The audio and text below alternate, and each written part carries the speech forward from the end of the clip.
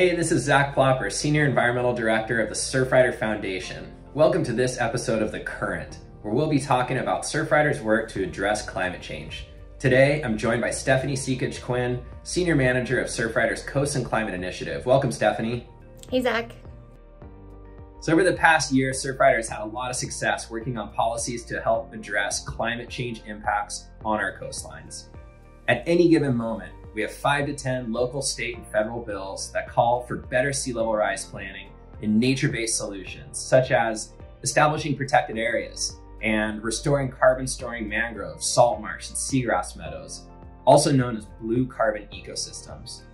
We had an awesome 2022 Coastal Recreation Hill Day where over 150 Surfrider activists from 26 states met with 160 congressional offices, urging them to take bold climate action.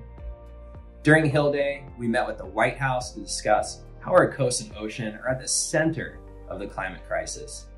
In August, we saw President Biden sign the Inflation Reduction Act, which invests nearly $370 billion into climate action and coastal resilience. This is the largest climate investment in US history with the goal of reducing carbon emissions by 40% by 2030.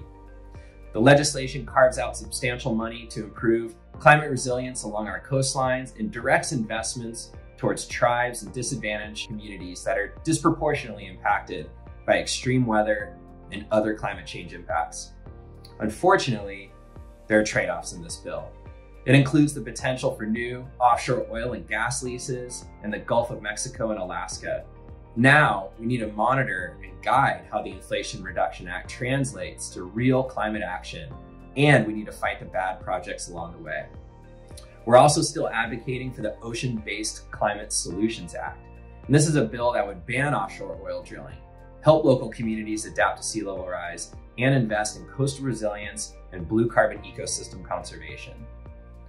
So Surfrider is doing a lot of great work around policy to protect our coasts against climate change, and we've seen success this year. But we're also making huge advancements on the ground through nature-based solutions. Stefanie, can you tell us about some of this work?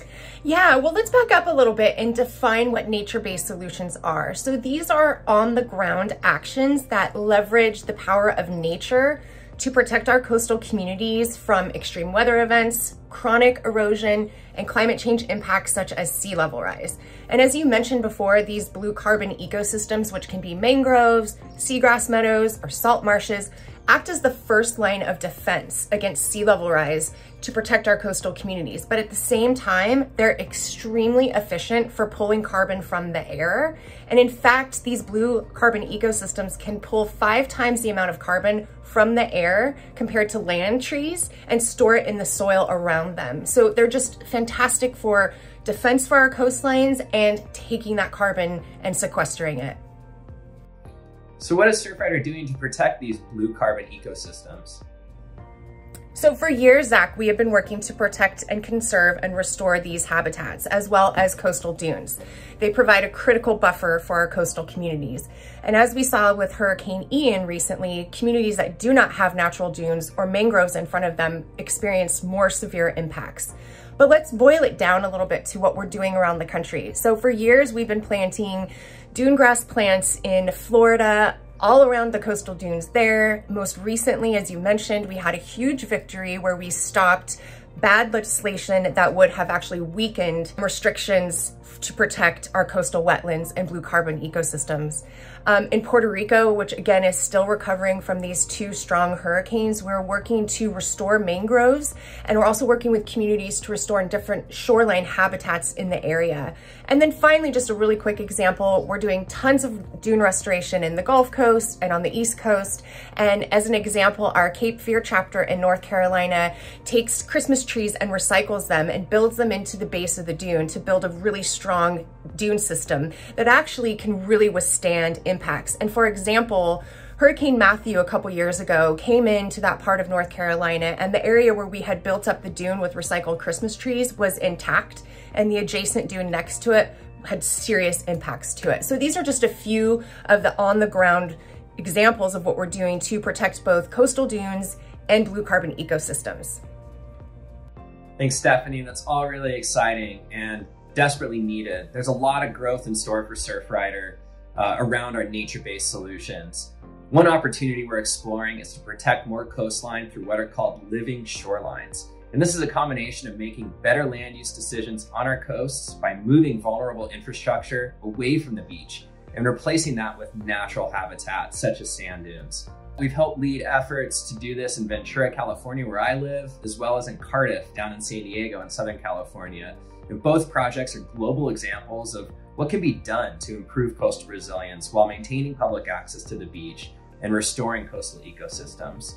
We're really excited to expand this work to other parts of the country. And we're going to be tracking the significant investments of the Inflation Reduction Act and other federal legislation to make sure that they are directed in the most impactful way. Anything else coming up, Steph? You know, Zach, I just want to reiterate that the bottom line is we have to act on climate change now. There's no longer time to wait, but fortunately, Surfrider is well equipped to do this. In 26 different states around the country, we either have chapters or clubs that are working on the ground to protect our ocean, beaches, and waves from climate change impacts. And we're all working together to ensure that we have accessible and resilient coastlines in the future. Thank you for joining me, Stefanie, and thank you all for tuning in to this episode of The Current. To learn more about Surfrider, to get involved with your local chapter, and to become a member, please visit surfrider.org.